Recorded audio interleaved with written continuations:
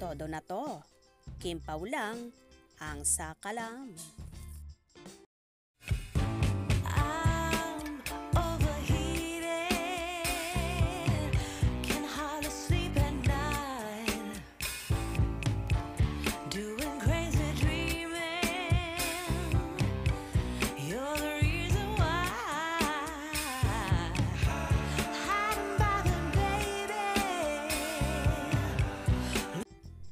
Bonggam-bongga talaga ang pinakabagong love team na Kim Pao at sinasabing isa nga ito sa malakas ngayon. Lalo pat magkakaroon sila ng panibagong series na hit na hit, ang K-drama na What's Wrong with Secretary Kim na pagbibidahan ni na Kim Chu at Paolo Avellino. Dahil nga sa naging patok at naging successful ang seryeng linlang ng dalawa kung saan ipinalabas sa Prime Video at nag-top 1 sa maraming bansa.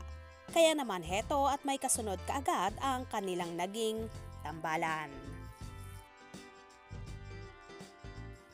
Kung sa linlang ay heavy drama ang role nila.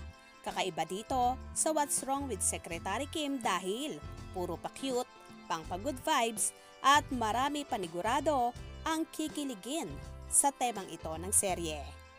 Anyway, start na nga ang taping ng dalawa at sinasabing sa 2024 ipapalabas ang Filipino adaptation na ito.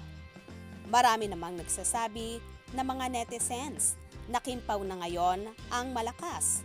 Lalo pat napapabalita na ngang hiwalay na sina Kim at nobyong si Sian Lim. At si Paulo naman ay hiwalay na rin daw sa nobyang si Janine Gutierrez.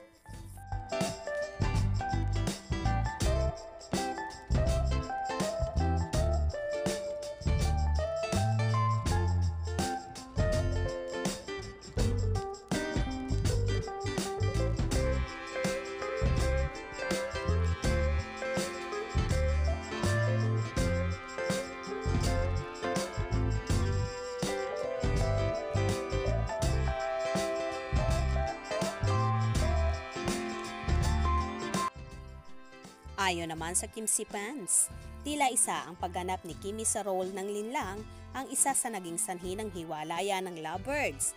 At tila dawit din si Paulo kung saan. Grabe daw pinagsilosa ni Sian kaya nauwi sa hiwalayan ang dalawa. But, wala pa namang kumpirmasyon na talagang hiwalay na nga ang magsing irog. Lalo pat sa last interview ni Kim ay sinabi niyang, grabe, amin na lang yon nang matanong ang aktres tungkol sa estado ng relasyon nila ni Sian. Kung dati-rati, direktang sinasabi pa ni Kim na maayos at happy sila ni Sian. Pero now, tila nag-iba ang ihip ng hangin at gusto na lang sarilinin ni Kimi ang issue na yon sa kanila ng nobyo. Samantala, nominado naman si Paulo Avellino sa The Six Gawad La Salanieta Award for the Most Outstanding Actor in Drama Series para sa seryeng Linlang.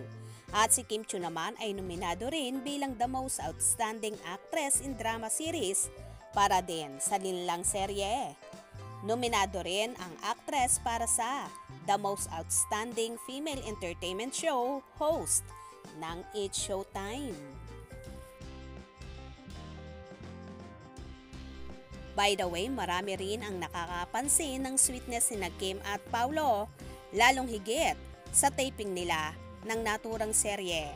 May ilan pang sinasabi na baka sila magkatuluyan sa huli, lalo na at sila talaga ang meant to be. Ano sa palagay nyo? Kayo na ang bahalang humusga. Kaya naman tumutok at huwag na huwag pahuhuli sa mga maiinit na kaganapan. Anong inyong magiging reaction sa bidyong ito? Comment below.